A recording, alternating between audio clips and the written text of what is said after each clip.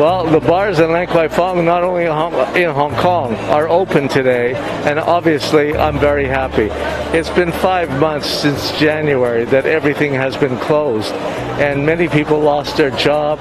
Many bars had to close because they couldn't afford to stay open for so long, and so it's good finally to have them coming back. People are they needed it very badly. You know, they're tired of staying home and they want to get their life back again. And I can see there's a good mood in Lan Kwai Fong. We can see tonight so many people very, very busy. And I hope this is the beginning. Safety is very important, and I'm sure the people will uh, take care with the vaccination. And uh, but it's good to be back.